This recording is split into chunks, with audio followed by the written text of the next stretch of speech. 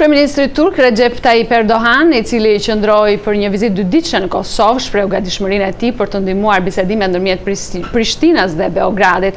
Ai tha se këto bisedime do të ndihmojnë paqen dhe qëndrueshmërinë në rajon, por do të ndikojnë edhe në shtimin e njohjeve për pavarësinë e Kosovës. Ne po lidhemi tani drejtpërdrejt me korrespondentin tonë në Prishtinë, Besim Abazi. Besim, cilat ishin pikat kulmore të kësaj vizite të kryeministrit turk?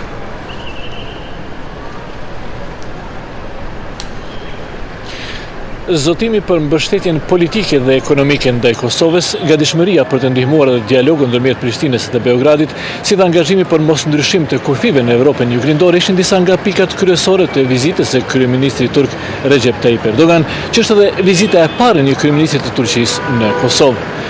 Erdogan dje u shpall qytetar nderi i Prizrenit, ndërsa sot në një ceremoni të veçantë mori titullin doktor honoris causa i Universitetit të Prishtinës, dy ceremoni këto që ishin në funksion të siç u tha shprehjes së mirënjohjes për rolin e Turqisë gjatë dhe pas luftës në Kosovë.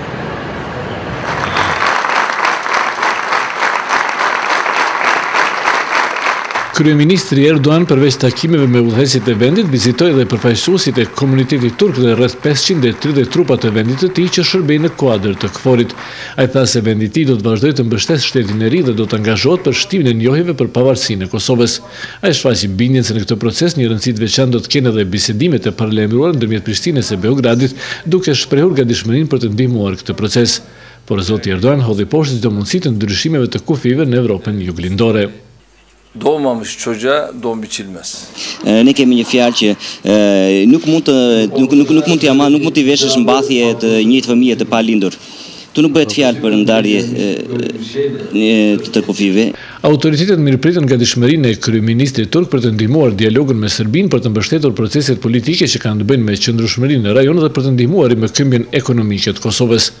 Aktualisht, kompani të fuqishme turke janë përfshirë në disa projekte të mëdha siç është ai i ndërtimit të autostradës që lidh Kosovën me Shqipërinë dhe zhvillimin e aeroportit ndërkombëtar të Prishtinës. Kryeministri Erdogan gjatë vizitës shprehu edhe interesimin e kompanive të vendit të tij për të investuar në fushën e postës dhe telekomunikacionit në Kosovë. Ai mori pjesë ndërkaq në ceremoninë e hapjes së një xhamie të rinovuar në qendër të Prishtinës dhe vizitoi monumentin kushtuar Sulltan Muratit të Parë, i cili ishte vrarë në fushë të Kosovës në vitin një mijë e treqind e tetëdhjetë e nëntë, në betejën e ushtrive turke dhe atyre ballkanike që shënoi dhe fillimin e sundimit pesëqind vjeçar osman në Ballkan. Kryeministri Erdogan, vizita e cilit përkoi me zhvillime në skenën e brendshme politike në Kosovë që çuan në rrëzimin e qeverisë dhe shpërndarjen e parlamentit, shfaqi shpresën se Kosova do të organizojë një proces të mirë të zgjedhjeve më dymbëdhjetë dhjetor.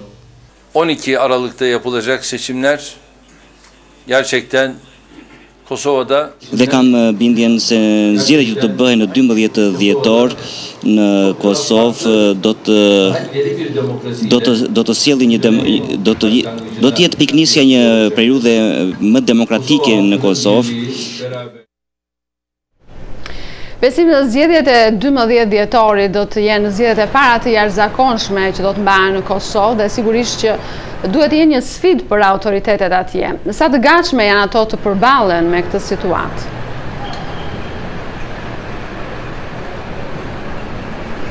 Po Rudina, është shumë e vërtetë që organizimi i zgjedhjeve të tilla pra të parat në Kosovë të jashtëzakonshme dhe koha shumë e shkurtër e organizimit të tyre paraqet një sfidë për demokracinë në Kosovë për institucionet e saj dhe në veçanti për Komisionin Qendror të Zgjedhjeve.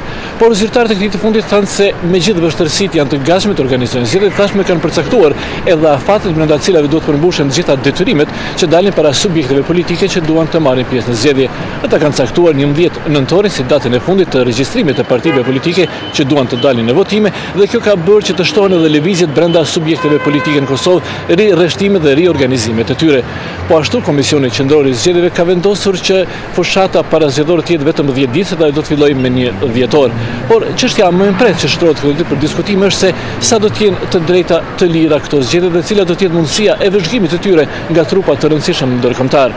Për këtë arsye dhe ushtruesi i detyrës së presidentit të Kosovës Jakup Krasniqi i ka shkruar një letër shefes së politikës së jashtme të Bashkimit Evropian, baroneshës Catherine Ashton, duke kërkuar asaj që të dërgojë vëzhgues të Bashkimit Evropian në Kosovë. Në letrën e dërguar zonjës Ashton, zoti Krasniqi thekson se kjo do të ishte një mesazh i mirë për qytetarët e Kosovës dhe për politikanët e Kosovës që këto zgjedhje do të jenë në seriozitetin e tyre të duhur, të lira, të drejta dhe demokratike. Kërkesa të tilla zoti Krasniqi u ka drejtuar edhe ambasadave të vendeve të Bashkimit Evropian që tashmë e kanë njohur pavarësinë e Kosovës, ambasadës së Zvicrës, si dhe ambasadës së Shteteve të Bashkuara në Prishtinë. Rudina? Besim po në radhët e subjekteve politike të komunitetit serb, çfarë është qëndrimi ndaj këtyre zgjedhjeve të jashtëzakonshme?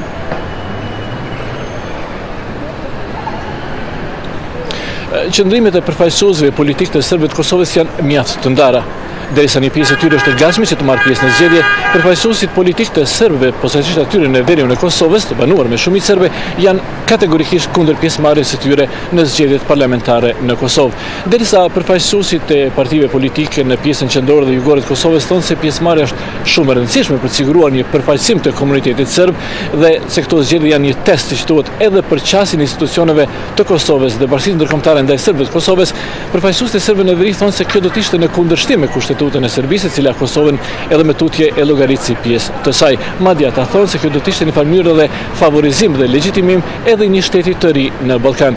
Serbët në veriun e Kosovës siç dihet i bojkotuan zgjedhjet lokale të vitit 2009, përderisa pjesëmarrja në këto zgjedhje e një pjese të serbëve në pjesën tjetër të Kosovës siguroi edhe krijimin e katër komunave të reja me shumicë të pjesëtarëve të komunitetit serb. Sidoqoftë, të gjitha palët pajtohen se vendimtar për për pjesëmarrjen apo jo të serbëve në zgjedhjet e Kosovës do të jetë qëndrimi i Beogradit zyrtar e qëndrimet prej andej deri tash Kanë qenë goxha kundërthënëse.